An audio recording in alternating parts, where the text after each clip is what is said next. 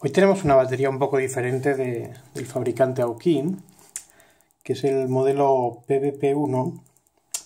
Es una batería que se presenta en, en dos colores, que son el plateado, este de aquí, uno pues tirando azuladillo. Yo en vez del azulado pues tengo el, el plateado, pero vamos, son cuestiones estéticas y más allá de un cambio en la caja o el color no, no marca diferencia en el funcionamiento de la batería. Eh, ¿Qué tiene de especial esta batería? Pues a primera vista se ve, se ve sencillo. Es una batería protegida contra, contra los, las inclemencias del tiempo. Está certificada con, con el grado de resistencia IP65, eso quiere decir que es eh, resistente a grandes cantidades de polvo y el 5 pues implica que que soporta chorros de agua de hasta 12 litros y medio por minuto. 12 litros y medio por minuto es vaciar, pues, no sé, 8 o 9 botellas de litro y medio de agua encima en un minuto. Es mucha agua realmente. No es sumergible, pero es muchísima agua. Y quien esté buscando un análisis de esta batería, realmente más que los números y demás le interesará pues saber qué tiene, qué no tiene. Lo primero, este, esta tapa de aquí es de aluminio. Tiene un, es muy, muy finita y da la sensación de ser de, de plástico, pero realmente es aluminio. Luego vamos a ver en detalle cómo es.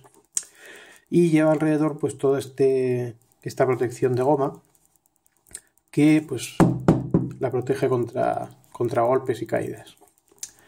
Eh, cosas externas que se pueden reseñar pues tiene un indicador de carga de batería con, con cuatro LEDs, a diferencia de otros productos de Aoki. Aquí podemos ver pues, que está a tope de cargada. Para poder ver este, esta indicación de carga, simplemente pulsamos en el botón de power, que está en este lateral. Y si mantenemos este botón de power pulsado 3 segundos, tenemos una linterna. Esta es la primera vez que me parece útil una linterna o una batería externa de este tipo, porque sí que realmente está pensada para, para llevarla por ahí, para llevarla de camping, de trekking, a tienda de campaña o a condiciones un poco adversas. Y además también está muy bien pensada esta asa que tiene en la parte superior, es de aluminio, va atornillada con dos tornillos al, al cuerpo de la batería. ¿Y por qué digo que está muy bien pensada? Porque si nosotros cogemos y colgamos esto de una tienda de campaña, por ejemplo, podemos iluminar hacia abajo con esta linterna tiene una especie pues como de, de foco en la parte superior de la tienda. También podemos pues dejarla atada a cualquier cosa, dejarla iluminando y así tendremos las manos libres. Bien. El sellado de los puertos USB, necesario porque si, si, esto tiene que aguantar agua, pues, pues debe de ir sellado. Se hace mediante esta tapita. Si la abrimos, tenemos aquí tres puertos uno que es micro USB. Este es el encargado de recargar la batería propiamente. La batería se recarga con una intensidad de un amperio. Eso hace que tarde pues, unas 8 horas en, cargarse completamente cuando está descargada del todo. No es recomendable descargar estas baterías del todo porque bueno, reducimos su vida útil, pero hay que contar con 8 horas para disponer de un 100% de carga. Luego tiene dos puertos. Este de aquí es capaz de proporcionar un, un amperio y este de aquí 2,1.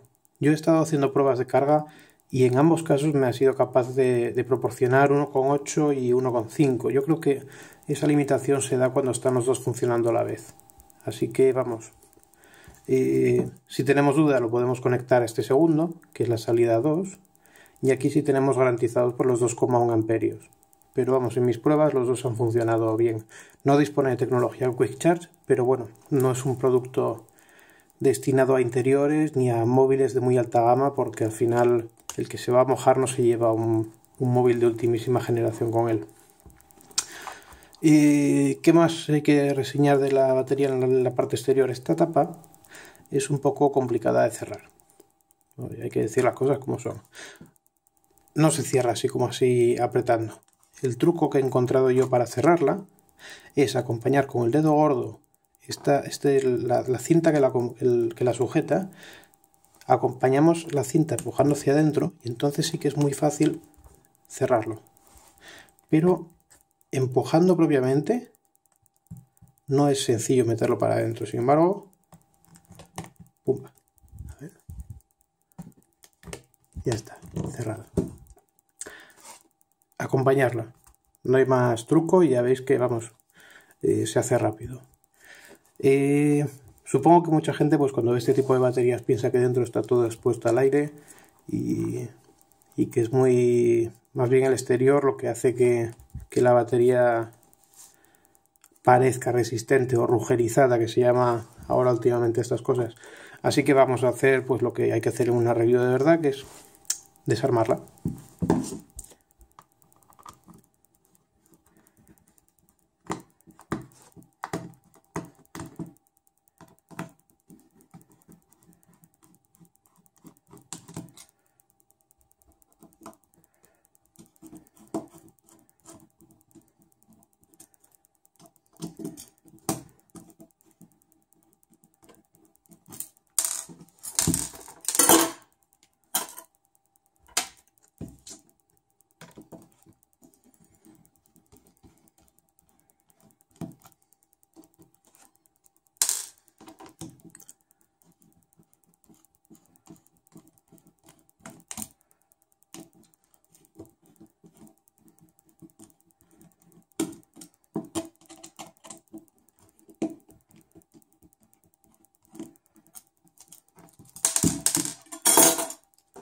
Bueno, lo primero que comentaba antes, esto es metal.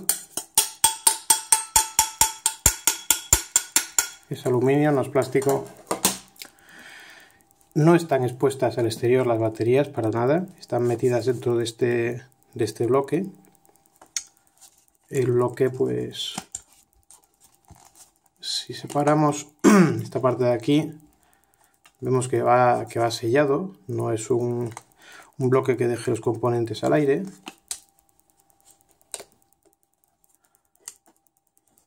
Podemos ver también que la parte de la carga, donde están expuestos los, los puertos USB, también está protegida, no está al aire.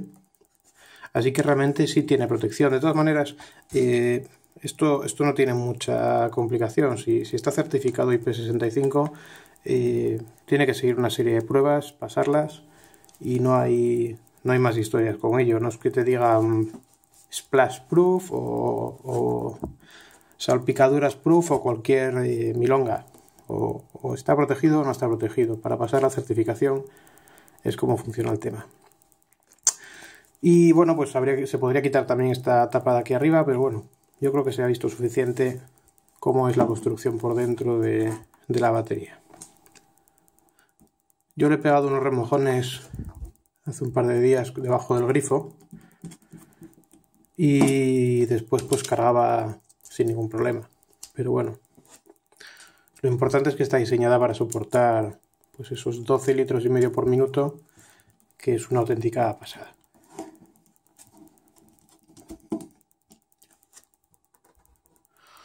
No me queda mucho más que, que decir de la batería, me parece una muy buena opción eh, lo he estado comentando con compañeros de trabajo que son aficionados a, ir de monte, de trekking y, de escalada. Y les parece una solución que era bastante necesaria en el campo este suyo de los deportes de riesgo, de alpinismo, outdoor o llámalo X, pero era algo necesario porque por lo visto no había muchas baterías que les dieran confianza como para ir por ahí, ponerse a cargar el móvil, arriesgándose a recibir un chispazo y que, se lo llevase por delante. Desde luego lo que siempre hay que tener es bien cerrada la tapa de, los conectores USB porque bueno eh, si conectamos ahí el móvil y está mojado no le va a sentar muy bien pero para eso tenemos la tapa recomendación sí si la vas a utilizar para exteriores. Si la vas a utilizar en entorno urbanita, oficina, casa y demás, te recomiendo pues, una batería del estilo de, de la Sauki de 16.000 mAh. A ver si tengo por aquí.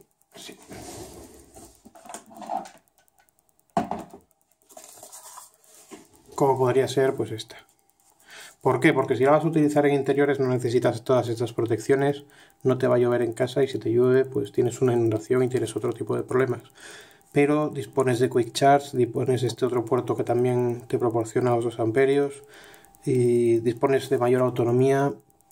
Eh, para interior, búscate una, una batería normal, pero desde luego si te vas de, de excursión, acampada, camping o, o lo que quieras llamarlo, esta es la batería recomendable.